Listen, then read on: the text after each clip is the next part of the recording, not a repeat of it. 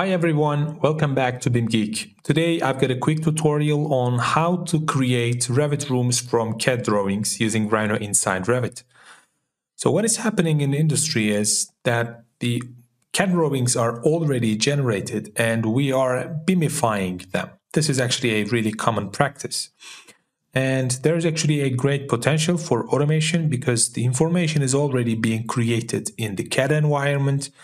So we need to simply transfer that information from CAD environment to BIM environment. Let me briefly introduce you to the CAD file we're going to use in this video. So this is actually a floor plan that I created for another tutorial, floor finishes by room. I'll add link to that as well. So what I did is I simply added a couple CAD blocks that contains room information such as the name of the room, the number, and the finish values such as the wall finish, floor finish, and ceiling finish, etc. And we are going to use this information as a base for our Revit rooms. One important note though, uh, your CAD drawing and your Revit file should have the same origin this way, uh, when you open this file in Rhino, it's going to come in the correct location. Let's continue with the requirements. I'm going to be using Rhino Inside Revit version 1.7.8. This is a daily build. Let me show you what it looks like in Revit. So daily build is basically the latest release of Rhino Inside Revit before making into a final production, final release.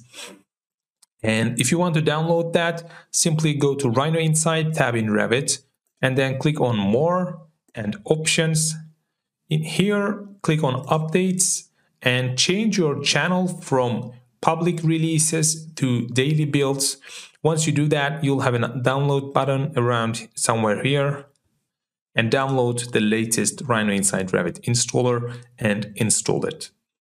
The reason why we're doing this is because the latest Grasshopper release have some amazing uh, topology related nodes such as the add room, add room separation, you know, spatial element boundary and geometry, as well as some view related stuff.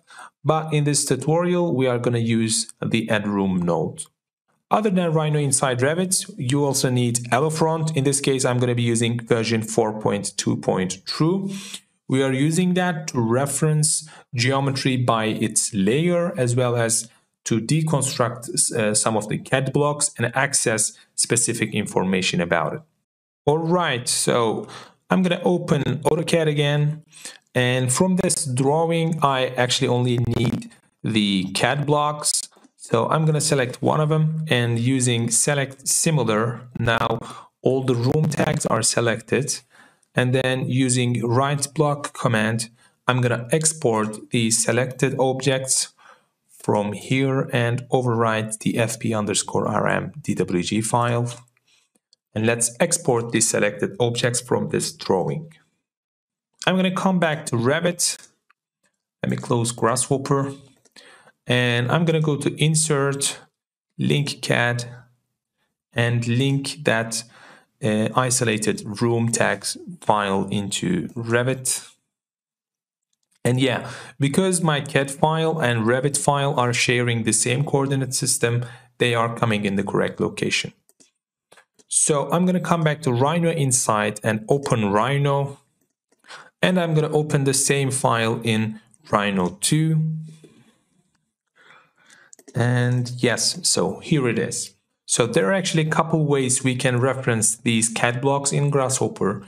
One way is we can reference them by their block type and the other one is by their layer name. So if I select all of the blocks in the drawing, as you can see, they all share the same layer. In this case, it's room text layer. And I am gonna do that actually. I'm gonna reference geometry by their layer.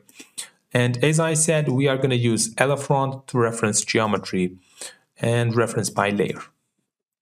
Okay, so I'm to connect a value list to the layer name input. This will generate a drop-down menu containing all the layer names and I'm to select room text layer.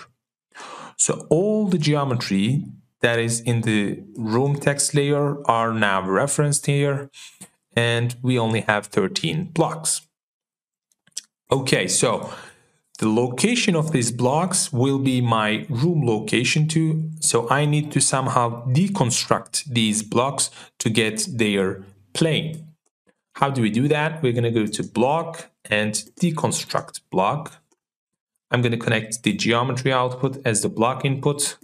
And yeah, so I have the block names as well as the block planes.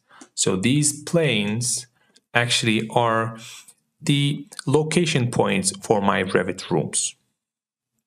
So right now they are Rhino planes. I'm going to deconstruct these planes to get their origin point. So let's type in plane, deconstruct to get the origin point.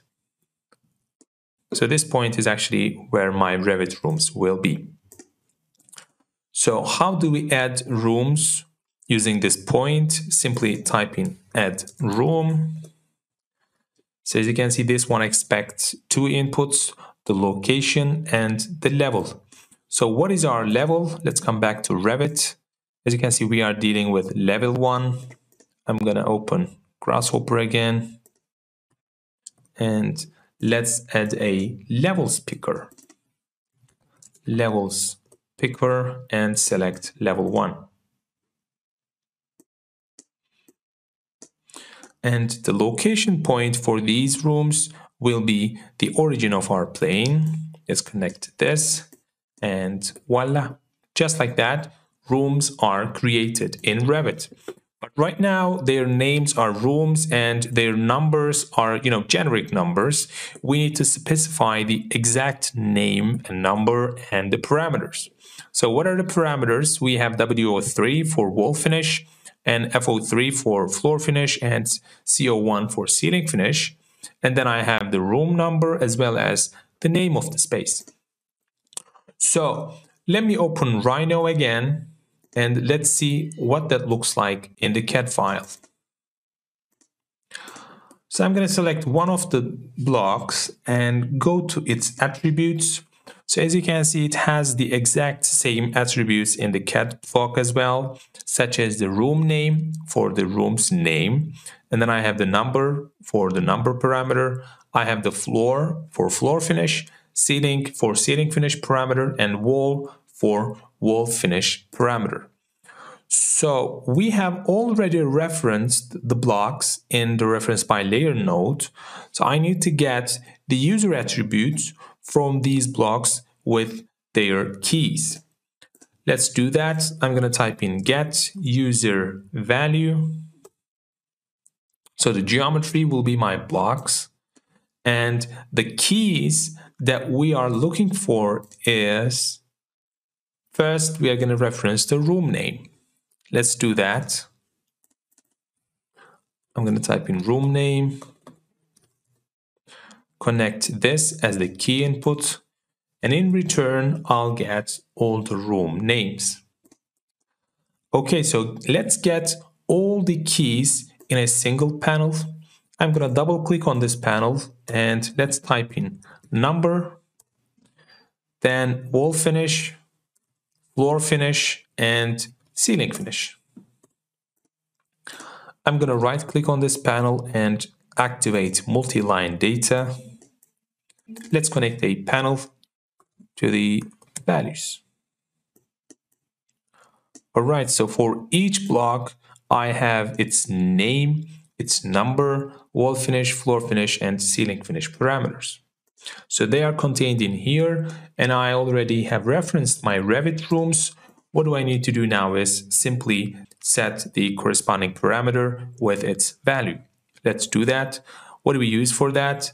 The magical element parameter node. Element parameter. So this node basically allows us to get parameter value as well as set it. So the element input will be the rooms and the parameters we are looking for are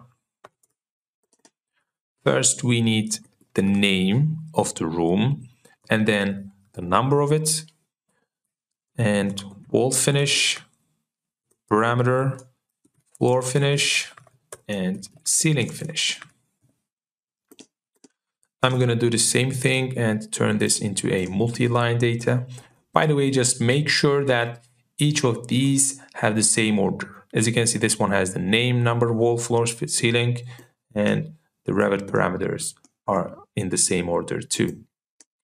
Okay, let's connect this as the parameters input, and in return, I'll get their values.